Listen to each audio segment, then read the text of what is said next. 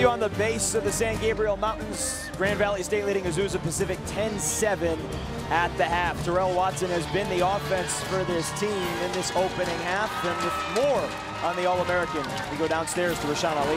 All right, thank you so much, Jason. Yes, running back Terrell Watson has broken almost every rushing record, even the one set by Christian Okoye, who later went on to play for the Kansas City Chiefs. But as Cat Andersen explains, the key to his success is not even supposed to be there because they said he wasn't supposed to go to college you understand that the value is right now. You really don't have the next moment. It comes as no surprise to the coaches at Azusa Pacific University that Terrell Watson is the focal point of the team, especially in the weeks leading up to their opening game. He's explosive, he's big, he's powerful. I think he's one of the best running backs around the entire country. The numbers speak for themselves. He broke all of Christian Okoye's records. I mean, he kind of shattered the records, actually. They say Watson has a gift. He is freakishly great with visually seeing things. And so uh, we can diagram something up on the board, and Terrell can take the time, capture in his mind, and go out and perform it. There's a term for that, and it has something to do with having a sixth sense, an awareness, a, an unusual ability to see certain things. When I play, I learn how to slow down my head. I just like, yeah, people are moving fast. Of course, you have people flying around, but you slow it down and you look at things you need to look at. I, I always kind of joke with them. I go, it's like the Matrix in your mind, isn't it? It's just really slow and you're able to anticipate and make the moves you need to make. So that has to be a huge advantage, the yeah, fact that you can anticipate their yeah, move. It's a huge advantage. Be able to go tell the coach what the defense ran five, ten plays ago. Coach ran like this, this guy tackled me. I don't know why this guy was standing by himself. Just watching knowing blitzes are coming down. If I see a safety rollover over a corner, that's odd. The safety's obviously coming. Someone's coming from that side. And I remember getting the headset to Coach Byes. I'm like, Byes, like they're blitzing the linebackers, they're pinching the ends. We just run a screen play, we'll be fine.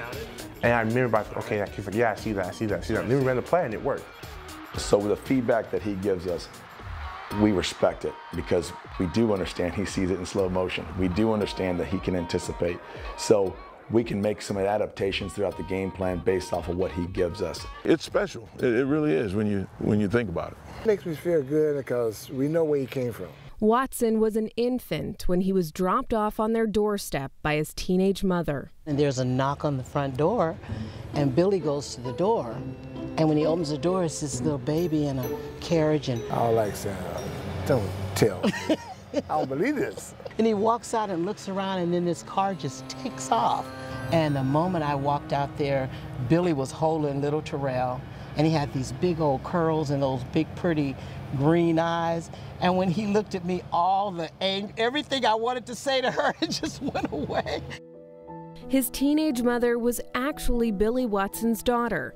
The Watsons adopted Terrell, raised him as their son, and soon discovered he had a learning disability. He was in special ed since he was in elementary when he first started school. Reading, comprehending stuff was super hard.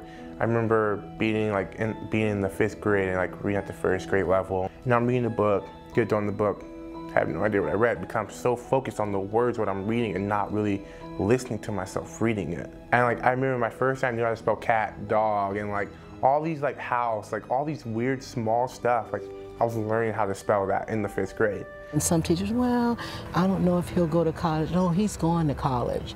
My Terrell's going to go to college. She discovered that if he heard the information or saw it in picture form, he could recall it with the precision of someone who had a photographic memory. He was more visual. So if we studied for something, I would have pictures, and, and once I told him, man, it was in there. He could tell them everything. And then he'd come home with his test and he'd ace the test and we'd be like, oh my God.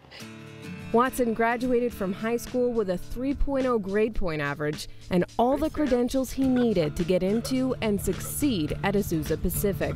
I want to graduate college and then go back to my high school and be like, I did it. I don't like tell special ed kids, it's like, dude, like, who cares you're in special ed? Great. Just keep working because you can go to college too. It's a process through everything. The kid who was told he would never be college material is now the poster child of the university. applying his uncanny visual intelligence now on the football field. He's a smart guy, let's put it that way. Such a remarkable young man. I had a chance to talk to him yesterday, and he always gives the credit to everybody else. He already has over 100 yards rushing tonight. So congratulations to the Watson family. Coming up, we talk to Dr. Tom Haas, the president of Grand Valley State University. That's next. Stay with us.